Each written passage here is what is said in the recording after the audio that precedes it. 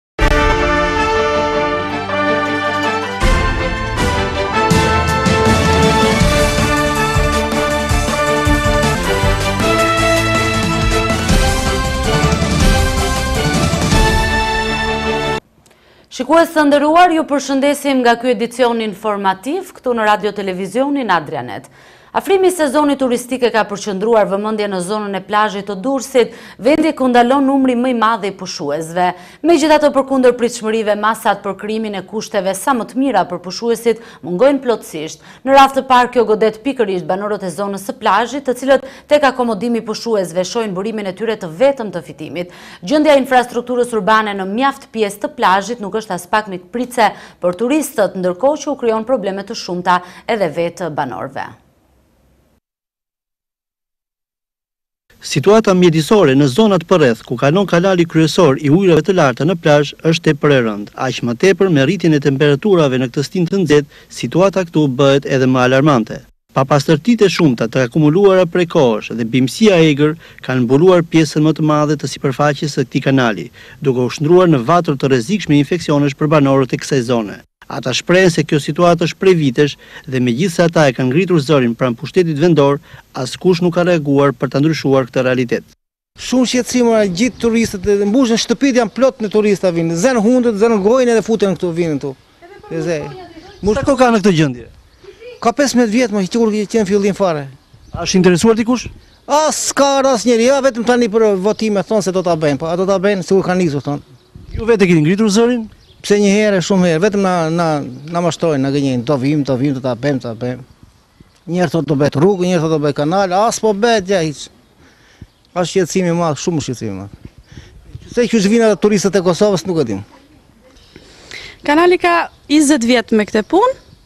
As ka për t'u bo nanjëherë taksat gjelbërimi t'gjitha merren ne i paguim po i soj kemi. Po turizmin sa e dëmton? Komplet sa vjen edhe më poshtë. Fmit i kemi kur na bien nji ditë mrena s'e dimë është tmerr. Ja i shifni edhe vet kanali është zbuluar mushkonja ka plot. Edhe ne kalojmë aty, na bëjnë dëme për fëmijët më shumë edhe për turista se ne këtë ditë si thashë e presim. Ky kanali tonë unë e kam ngritur një tok herë problem se këtu na është mbytur edhe një fëmijë në këtë kanal. Edhe kam ngritur ata fillojnë gjoja do ta bëjmë edhe nuk e bëjnë. Sa kohë ka në këtë gjendje? Më tetë këtu, qyshkur kam ardhur këtu po bëjnë unë njëzet vjetë, kështu ka qenë ky kanal. Ju si banor e keni ngritur zërin? Fort rrallë e kanë ngritur, se këtu janë njerëz të ardhur më shumë edhe nuk e ngrenë kanë frikë. Kurse unë e kam ngritur një tok herë, po nuk është zgjidhur ky problem. Pra, asnjë reagim s'ka pasur nga bashkia për ta rregulluar? Hiç hiç fare, as e kanë menduar fare, kurse sivjet kanë ardhë gjoja, ka dhe një dy pika dy gjoja, sikur do ta rregullojmë, se vijnë për çështjen e votave tashi. Populli gënjehet si punë e asaj Një fëmijë që e gënjen pa rritur, po pastaj po u rrit di si flet ai. Neve këtu u helmuam në pisllëqet. Po turistët a vijnë në këtë zonë? Po vijnë, vijnë gjer andej, ata vijnë gjer këtu e kthehen tutje. U lutëm rëshpirë, shohin kështu kanalin edhe marin kemë i këndudi.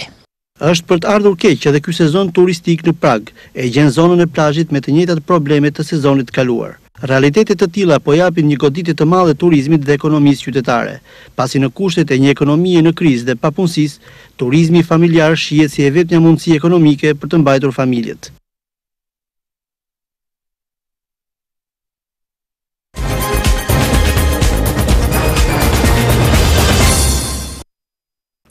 Kandidatja e Partisë Demokratike në bashkinë e Durrësit Grida Duma është takuar me banorë të shumë në zonat e Spitallës dhe Porto Romanos. Problemet me të cilat përballen njerëzit atje janë të shumta, duke filluar që nga menaxhimi i keq i grumbullimit të mbetjeve urbane e deri tek mungesa e ujit të pijshëm dhe rrjetit të kanalizimeve. Kandidatja demokrate u angazhua për zgjidhjen e shpejtë të problemeve më imediate, ndërkohë që tha se nxitja e biznesit dhe punësimi përbëjnë shtyllën kryesore të zhvillimit të qytetit. Kandidatja e Partisë Demokratike për Bashkinë e Durrësit, Grida Duma, takoi banorët e lagjes së Spitallës dhe Porto Romanos, të cilët i siguroi për vullnetin e saj për mirëmbajtjen dhe urbanizimin e këtyre zonave. Banorët u shprehën se janë jashtë vëmendjes së bashkisë, teksa ata vuajnë mungesën e ujit të pijshëm, kanalizimeve, ndotjes dhe përmbytjeve të shpeshta.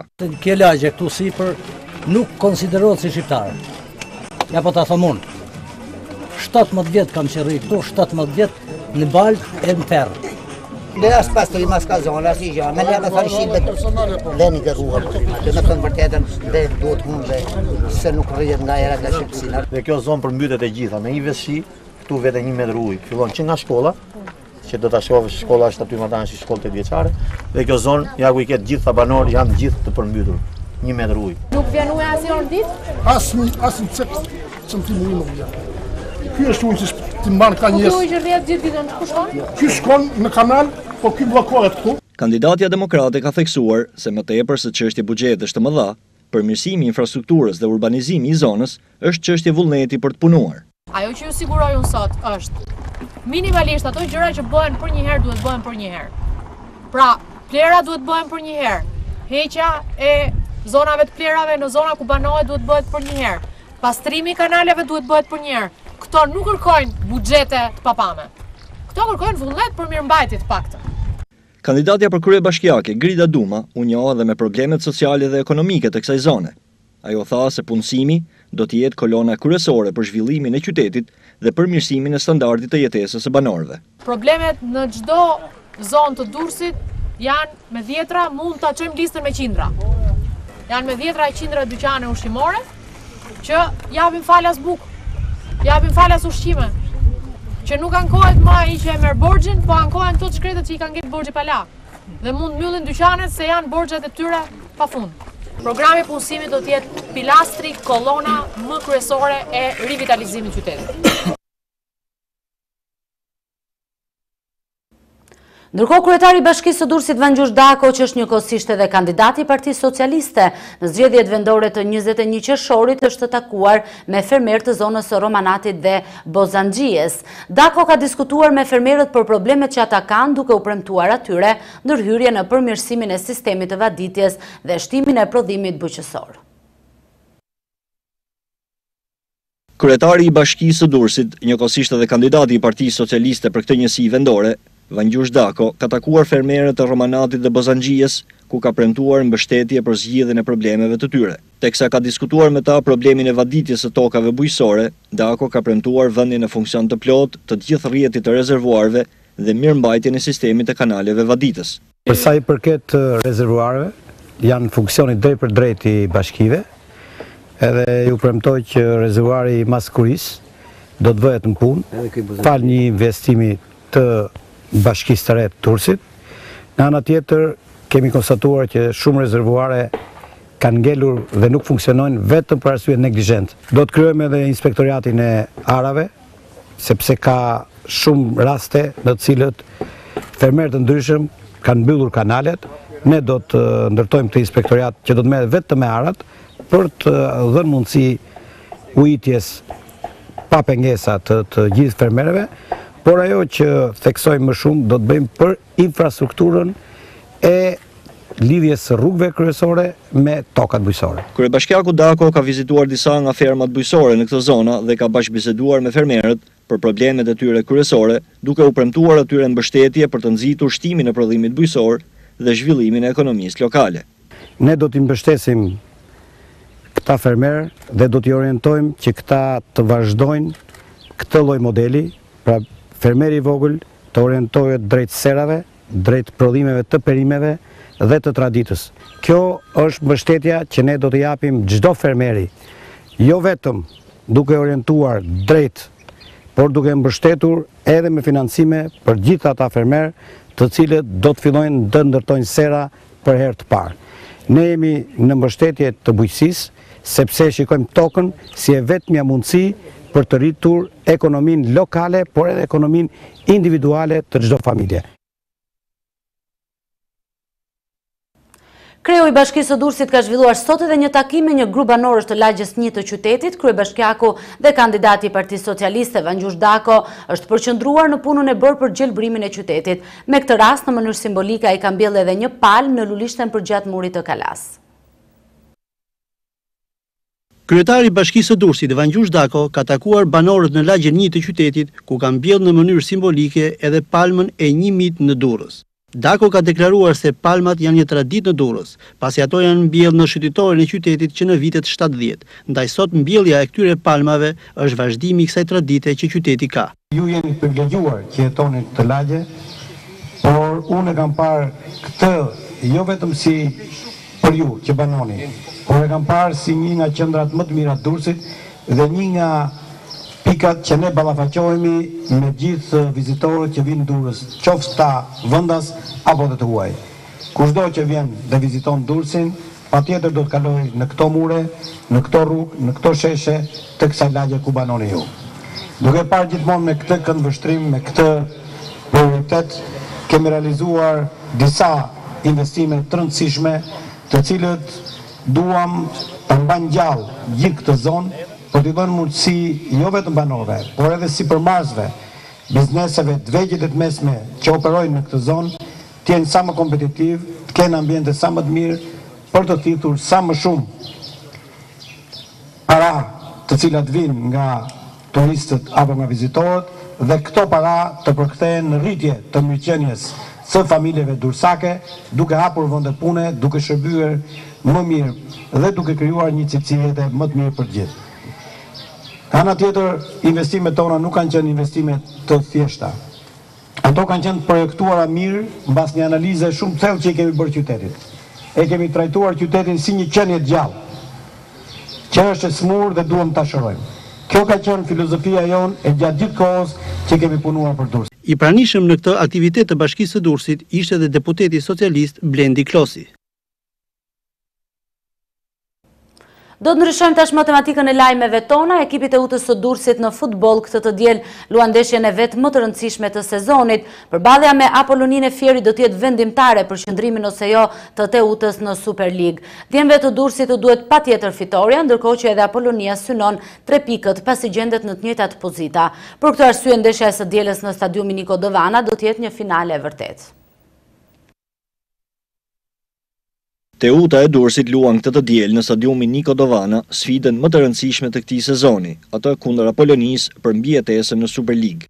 Është kjo ndeshja më e rëndësishme e kësaj jave, e cila do të vendosë në një përqindje të madhe se cila prej këtyre dy skuadrave do të qëndrojë në Superligë dhe cila do të zbresë një kategori më poshtë. Në klasifikim, skuadrat i ndan vetëm një pikë, me Teutën që qëndron një pozicion më lart. Nëse kërkon ta mbyllë me këtë ndeshje çështjen e mbijetesës, për durrsakët alternativa e vetme është fitorja, pasi barazimi në këtë sfidë do të favorizonte fierakët, nisur nga kalendari që rezervon java e fundit, ku Teuta luan në transfertë me Tiranën, që me një fitore ndaj Teutës siguron një vend në Kupat e Evropës. Ndërkohë Apolonia do të presë në shtëpi Laçin, skuadër që objektivin primar ka Kupën e Shqipërisë. Teuta i ka të gjitha mundësitë ta fitojë këtë sfidë jo vetëm se luan në shtëpinë e saj, por edhe për faktin se ka në përbërje të grupit futbollistë me mjaft eksperiencë për ta nxjerrë Teutën nga kjo situatë e vështirë. Një hap i gabuar për durrsakët në këtë ndeshje do të thotë një sezon i tërë i hedhur poshtë. Por vetë stafi teknik dhe futbollistët durrsakë janë koshientë se Apolonia është një skuadër e vështirë, me futbollistë cilësorë dhe aktualisht ky grup është mjaft i motivuar e po kalon një formë të mirë sportive. Lidhur me këtë ndeshje decizive për Teutën, Artur Lekbello, një emër i madh i portës durrsake dhe asaj shqiptare, në një prononcim për televizionin Adrianet, teksa është shprehur kritik ndaj gjykimeve që sipas tij e kanë penalizuar jo pak Teutën këtë sezon, ka bindjen se durrsakët kanë forca dhe do dinë ta kalojnë këtë me sukses këtë ndeshje. Për ta nisur më më para, domethënë Teuta nuk e meritonte të ishte këtu për vetë faktin sepse me ecurinë e këtyre ndeshjeve të fundit më tepër e kanë sulmuar Teutën se sa ajo ka korrur atë që duhet merrte në fushë. Nuk është se djemtë kanë luajtur keq, nuk është se nuk janë impenjuar, Do të desha më tepër zemër dhe në këtë ndeshje unë gjykoj dhe jam jashtëzakonisht i bindur që duhet fituar dhe do të fitojmë, sepse rrugë tjetër nuk ka. Po ky mentalitet duhet të jetë te gjithë lojtarët dhe e shikoj edhe vetë angazhimin e lojtarëve që të gjithë janë për të fituar këtë ndeshje sepse kjo është ndeshja e mbijetesës edhe mendoj që aty nuk ka ekuivoke tjera ose mendime tjera, është thjesht Një ndeshje që nuk duhet të kishte arritur në këtë ndeshje, ju a shpjegova pak më para sepse më vjen keq për djemtë e Teutës, për vetmin fakt sepse nuk e meritoshin të ishin aty ca dhe për gabimet e tyre, por edhe ca për gabimet e arbitrave, siç qe dhe ndeshja e fundit me Kukësin, vërtet Kukësi e respektojnë për atë që bën kampionat. Por nuk mund t'i japim Kukësit një penalti një metër e gjys larg, unë nuk e marr këtë për justifikim. Por këshu fillon një penalti aty, një goditje dënimi atje, një ence andej, një faul andej, një aut andej, dhe gjithë këto bëjnë atë mbarëvajtjen e lojës që i çorientojnë lojtarët. Nuk mendoj që këto do të ekzistojnë në këtë ndeshje, do të jetë qind për qind si ekipi i parë, po dhe ne gjithë stafi që jemi këtu, të gjithë fëmijët, të gjithë mezi e presim që Teuta të fitojë dhe unë jam shumë i bindur që Teuta do ta kurorëzojë me sukses këtë ndeshje sepse i ka potencialet brenda për të të fituar, nuk i mungon asgjë, po kujdesi i klubit i ka nejtur në në në maksimum, vetëm ata të shprehin Vetëm të vejmë zemrën në fushë, shpirtin dhe të mendojmë për këtë fanellë që kemi lujtë të gjithë dhe për këtë qytet. Interesimi për këtë ndeshje pritet të jetë tejet i madh, nga sportdashësit durrsakë dhe ata fierakë, në mbështetje të skuadrave të tyre të zemrës. Më tepër se asnjëherë tjetër, Teuta ka nevojë për mbështetjen e fuqishme të tifozerisë së saj të zjarrtë, për t'i dhënë zemër djemve të detit, për të dhënë më të mirën në fushën e lojës. Sfida mes Teutës dhe Apolonisë do të luhet të dielën në orën shtatëmbëdhjetë në stadiumin Niko Dovana të Durrësit.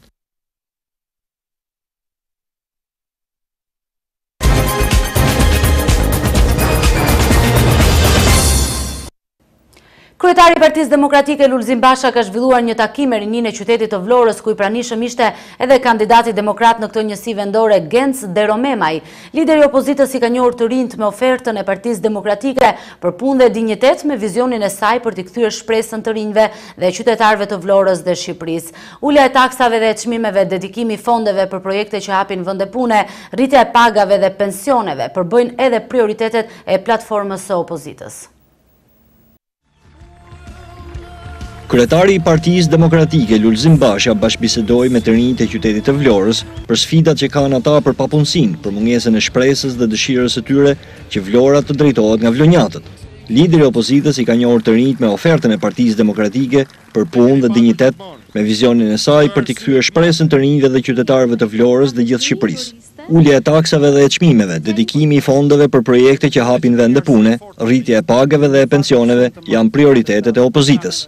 Kjo është oferta e uljes së taksave dhe rikthimit te taksa e sheshtë në nivelin më konkurues në Ballkan, është oferta e uljes çmimit të energjisë me njëzet e pesë për qind dhe faljes së kamatvonesave, është oferta e rritjes pensioneve, e rritjes rrogave, është oferta e rikthimit në listën e ndihmës ekonomike të gjithë familjeve të pamundura që janë goditur dhe janë larguar me të padrejtë nga kjo listë, Është oferta e destinimit të taksave të shqiptarëve për investime që krijojnë vende pune, jo për investime luksi që vijnë me faturë korrupsioni, siç janë palmat në Tiranë, apo lungomare në Vlorë, apo kulla e korrupsionit në Korçë. Papunësia e të rinjve ka arritur në shifra alarmante, rreth dyzet për qind. Mazhoranca që erdhi me premtimin për treqind mijë vende pune, Nuk ka hapur asnjë vend të ri, madje, ka mbyllur mijëra vende pune me politikat e saj të rritjes së taksave dhe çmimeve të energjisë, naftës e të tjerë. Heqja e taksave për bizneset që punësojnë të rinj, është prioritet i demokratëve, theksoi Basha. Prioritet i tyre është të qeverisin Vlorën me Koçën dhe për Koçën. Jo të qeverisin Vlorën me vlonjatët dhe për vlonjatët. Të lartësojnë sarajet e të godasin të pamundurit, jo të hapin vende pune. Amendamentin tonë që e propozuam dhe këta e hodhën poshtë. Për heqjen e taksave për bizneset që punësojnë të rinjtë, ju jap fjalën që do ta kthejmë realitet. Kryetari i Partisë Demokratike, Lulzim Basha, dhe kandidati demokrat për kryetar të Bashkisë së Vlorës, Genc Deromemaj, janë përgjigjur edhe pyetjeve të shumta të të rinjve, si për projektin e Lungomares, i cili është kthyer në shqetësim për banorët në prag të sezonit turistik, apo edhe përvetësimi i pronave dhe pasurive të vlonjatëve nga Koço Kokëdhima. Kandidati demokrat Deromemaj tha se përgjigja më e mirë për këtë realitet do të jetë vota e njëzet e një qershorit. Vlora është kthyer në një qytet që realizohen vetëm epshet, qejfet, dëshirat e Koço Kokëdhimës. Deri kur do ta lejojmë ne Koço Kokëdhimën? Të gjithë bashkë në njëzet e një qershor mund t'i japim reston dhe t'i tregojmë vendin, si vlonjatë që jemi. Cili është qëndrimi juaj për Lungomaren? Lungo balta do. Lungo. Lungo balta, njësoj. Se çfarë po bëhet atje ju e shikoni ditë për ditë. Është kthyer në një det të kuq që nuk i bën mirë Vlorës.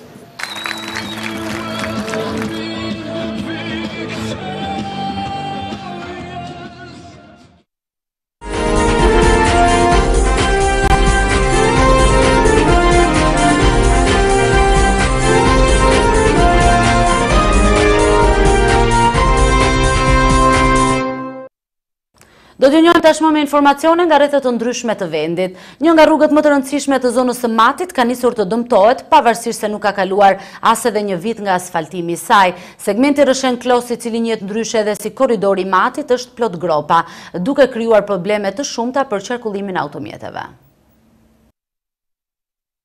Rruga Rrëshen-Klos e ashtuquajtur Korridori i Matit vazhdon të dëmtohet në të gjithë gjatësinë e tij. Tashmë dëmtimi i kësaj rruge nuk është vetëm në pjesën nga fshati Suç Bulle deri në fshatin Urak, por dëmtimet e asfaltit janë shfaqur edhe në fshatin Shoshaj. Edhe pse nuk ka një kohë të gjatë që kjo rrugë i është nënshtruar një rikonstruksioni për shtrim-asfaltim, Problemet si duket kanë nisur herët. Jashtë kamras drejtuesit e automjeteve shprehen se prania e gropave në rrugë përbën një rrezik për lëvizjen e tyre sidomos për drejtuesit e mjeteve që kalojnë për herë të parë në këtë aks rrugor. Aksi rrugor në fjalë është brenda vitit të garancisë dhe nisur nga kjo, firma zbatuese e projektit është e detyruar ligjërisht që të riparojë dëmtimet që pëson rruga deri në përfundim të garancisë. Financimi i kësaj rruge është bërë nga Fondi Shqiptar i Zhvillimit. Korridori i Matit është ndërtuar deri tek Ura e Matit dhe pjesa tjetër nga Ura e Matit deri në Klos nuk i është nënshtruar rikonstruksionit, edhe pse ishte planifikuar që të bëhej në vazhdimësi. Pranë qendrave shëndetësore në mbarë vendin ka nisur zbatimi i programit kombëtar për kontrollin shëndetësor bazë të njerëzve të grupmoshës nga dyzet deri në gjashtëdhjetë e pesë vjeç. Ministri i Shëndetësisë Ilir Beqaj ishte në Tërbuf të Lushnjës, ku vizitoi qendrën shëndetësore atje për t'u njohur nga afër me ecurinë e zbatimit të këtij programi. Në qendrën shëndetësore të komunës Tërbuf ka filluar dhe vazhdon rregullisht kontrolli mjekësor bazë për shtetasit nga 40 deri 65 vjeç.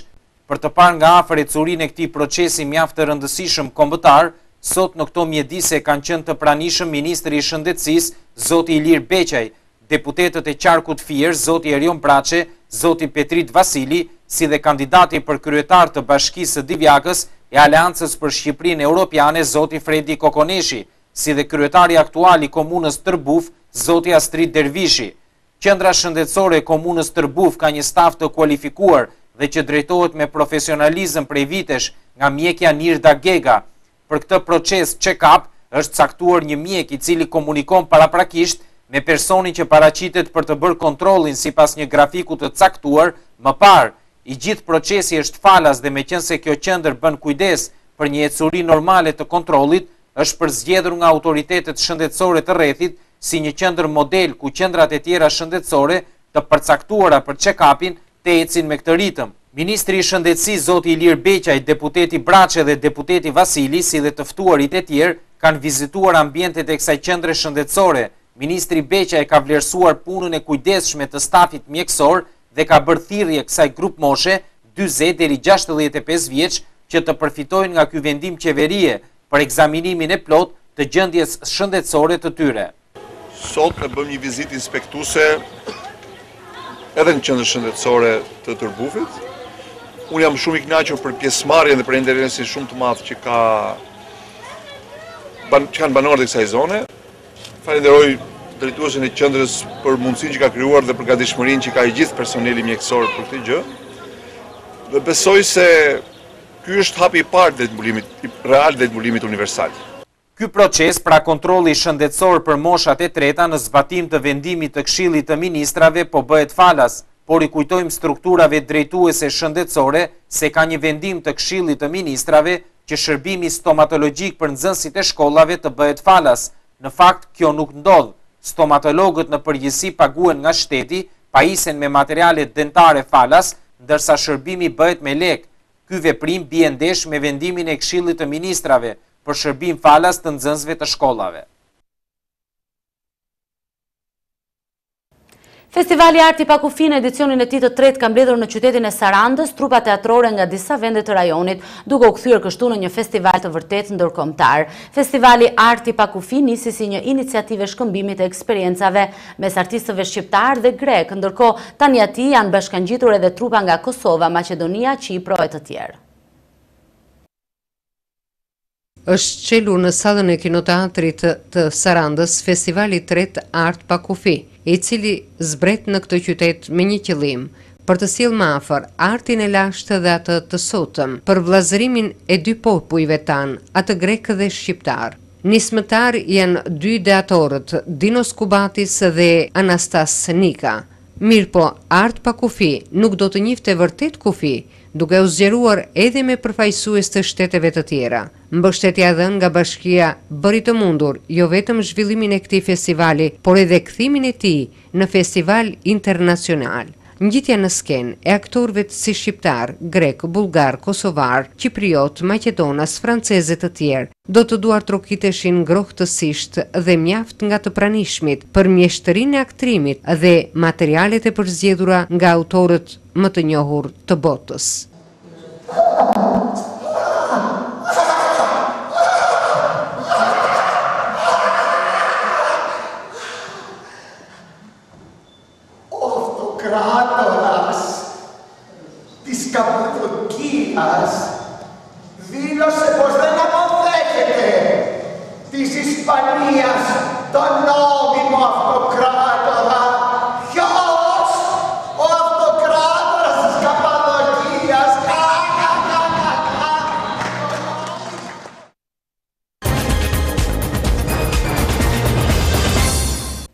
Do të kalojmë tashmë te kronikat e përgatitura nga Telebari, televizioni i rajonit të Puljas në Itali.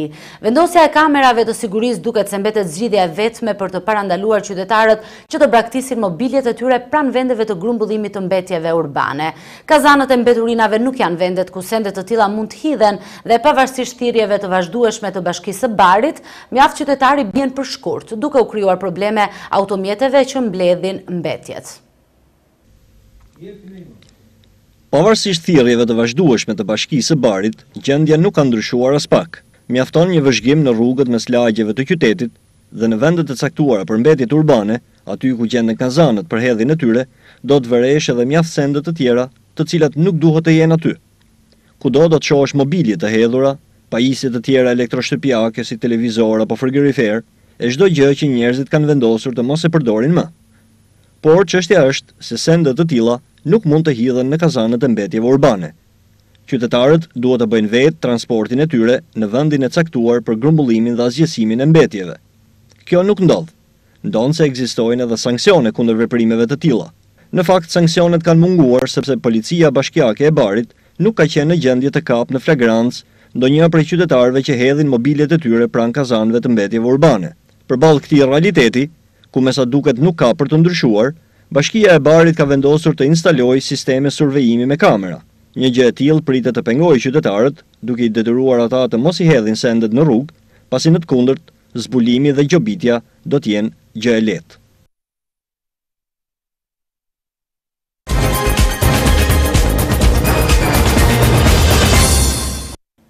Dënim me vdekje për atentatorin e maratonës së Bostonit dy vjet më parë në Shtetet e Bashkuara.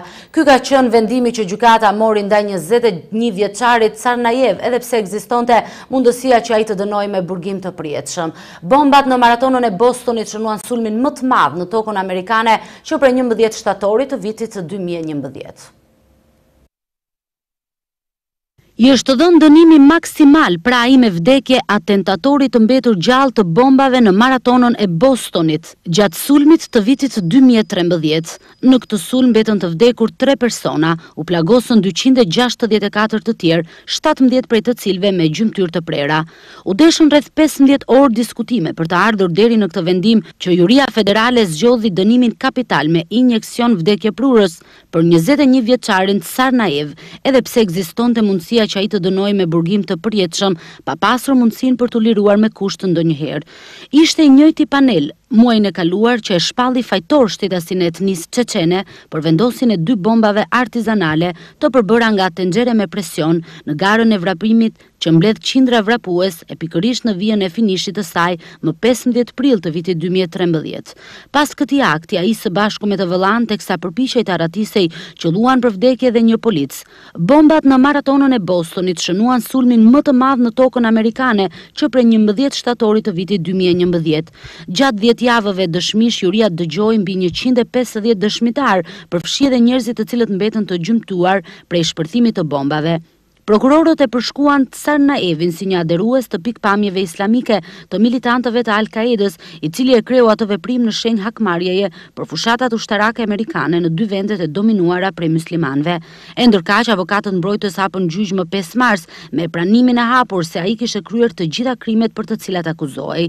Por ata argumentuan se klienti i tyre ishte partneri më i vogël i një skeme kriminale, të cilën e kishte ideuar vëllai i tij 26 vjeçar, Tamerlan, Ky i fundit mbeti i vdekur gjatë shkëmbimit të zjarrit me forcat speciale gjatë arratisjes, kur Tsarnaev nga ankthi dhe pamundësia për të gjetur shpëtim e shtypi atë me një makinë të vjedhur.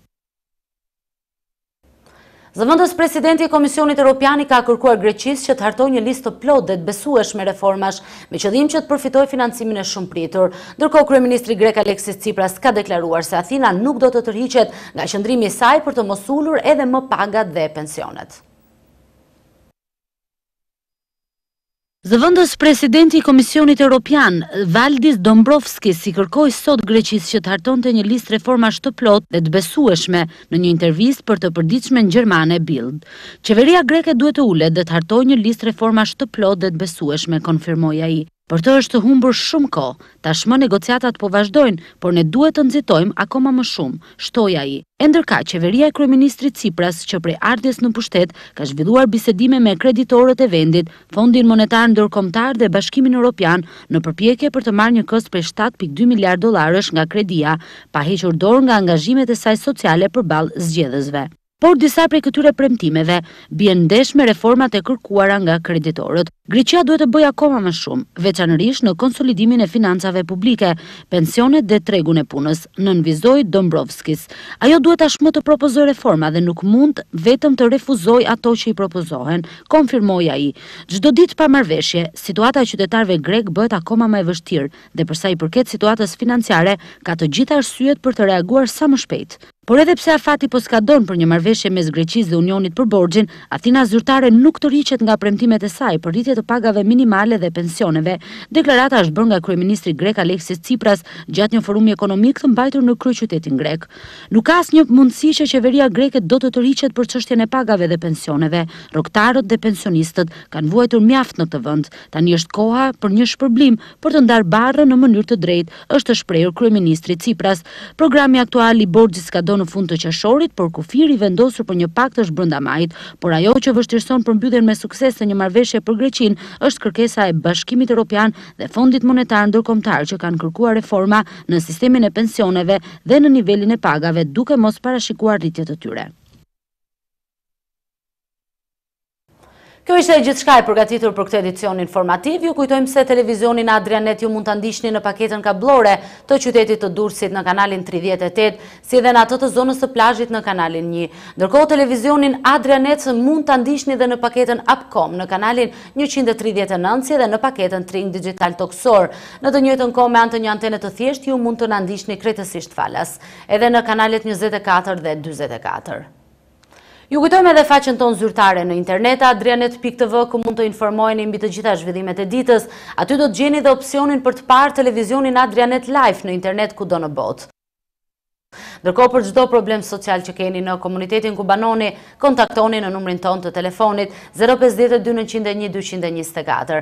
Faleminderit për vëmendjen tuaj, bashkë mirupafshim në edicionet e ardhshme.